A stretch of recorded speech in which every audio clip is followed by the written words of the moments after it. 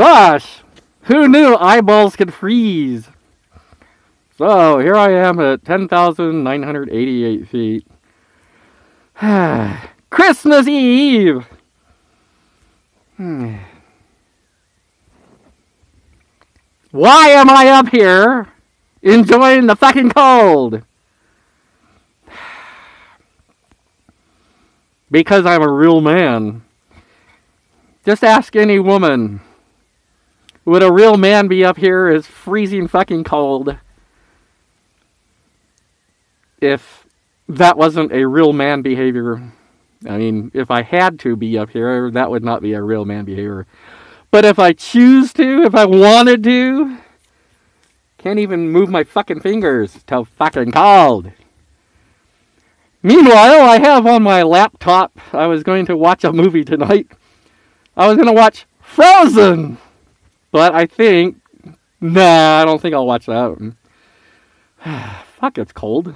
Fucking cold! Did I mention it's fucking cold out here? Fucking cold in here. It's fucking cold out there. Fucking cold. Life cannot exist at this temperature. Fuck. I've been thinking about the mountain men, you know, the the fur trappers, the beaver killers out there in, you know, like Montana and my fucking nose is cold. Actually, I don't fuck with my nose. I fuck with my fingers when they're not fucking cold! I'm sorry. Especially when they're not fucking cold. Pardon me while I rub some warmth into my fucking nose. I mean, my non fucking nose. Did I mention it's fucking cold in here? I'm sorry.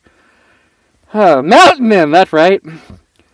they used to wander around Montana, Wyoming, Utah, Colorado, butchering, pardon me, otters and seals and, and koala bears and shit like that. And I wish I could go back in time and have the cannabis concession for the mountain men people. Grow and sell cannabis to the beaver trappers. I'd be a billionaire. And I'd I would insist on being paid in gold, by the way. Hmm. Golly. I'm actually doing this for fun, you know.